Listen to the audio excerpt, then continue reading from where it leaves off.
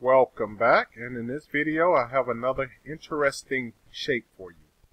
And just by looking at it you see we're going to have to use some kind of polar array command here.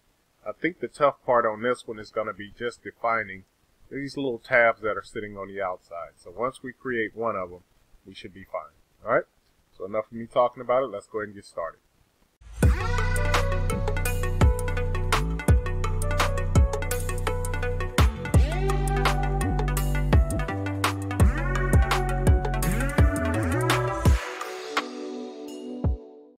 Okay, so some of the first things I'm going to go ahead and do is I will turn off the grid, and then I will set the ortho on on this one.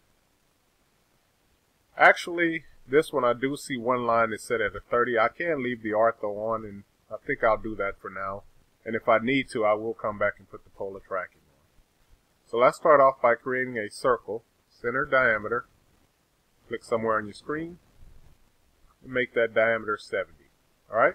So it should zoom off your screen. Go ahead and hit the zoom extents button. Let's go ahead and create our next circle here, which is another circle, center diameter. Placed at the center of this circle, right? So make sure you get the center point to show up. That's one of our running OSNAP functions that I'm selecting here, and center is one of my running OSNAPs. So when I go and click this center, now I'll type in 100. Zoom out a little bit more. I have to create another one that's going around here, and it's going to be the bigger circle, and it has a diameter of 200. So, circle, center diameter. Once again, touch one of those circles, left click, drag it out a little bit just to give yourself a preview, and then type in 200. Okay, so like I was trying to figure out before is should I turn the polar tracking on or should I just go ahead and create this thing on the side? And I think I'm just going to create it straight going this direction, then I should be able to rotate it, right? So I'm going to start off with drawing a line from this center, and then I have to make this line go 200, and I also have to make it meet at this line here. So I know the radius of this line is 200, so I'll type in 200, then I'll type in the angle, which is given to us as 30. Alright, hit escape. So this is all I need, and I, I'm sorry, I told you that that was the radius when actually that was the diameter. But anyway, we have everything we need to create this part. So let's go ahead and put a circle located at this intersection. And it's going to have a radius of 7.5. So I'll choose a circle, center radius. I'm going to click at this intersection. Once again, intersection is one of my running OSNAPs. You can verify that down here at the bottom. But this is to be 7.5. Alright, so what I'm going to do next is go ahead and copy this circle up a distance of 15. So let's choose copy, create your circle here, enter, select a base point, go up, type in 15.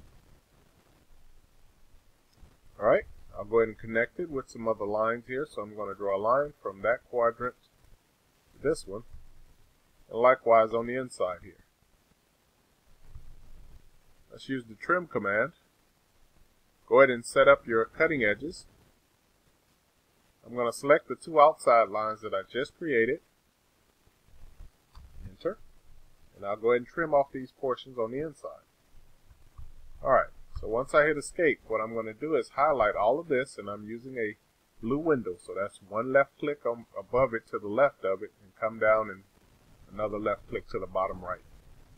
Once it is all highlighted, I will select the join command, just to make these all as one.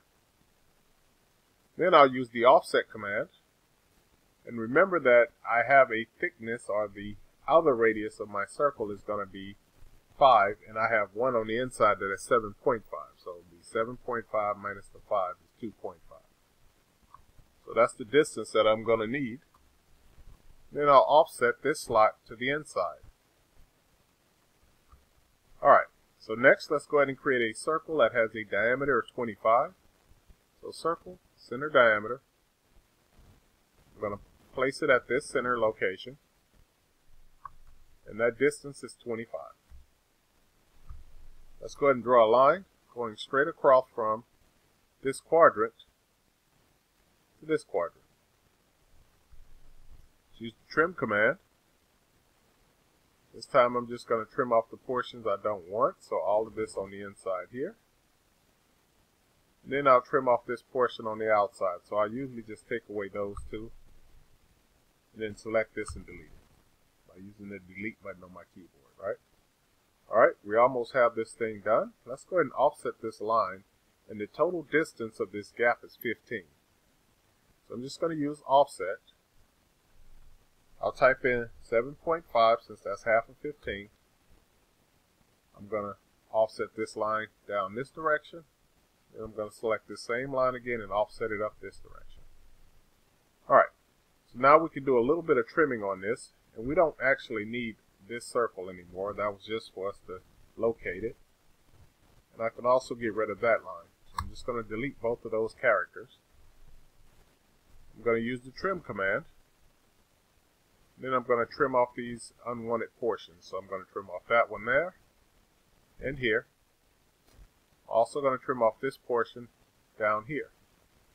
I'm going to come to the inside here. I'll trim off here and here and the gap in between here. Alright, so I'll go to escape. I'm going to select these lines that I don't want anymore and hit delete on my keyboard. Zoom out. Now we're ready to use the polar array function. So let's go to polar array. I'm going to select these objects here. Once I hit enter, it's asking me the center of this, so I'm going to go and touch one of those circles and select the center. Now it should create six of them. The one thing I want to make sure that you have turned off is make sure your associativity is not blue. Go ahead and close the array. Use the trim command then trim the gaps between.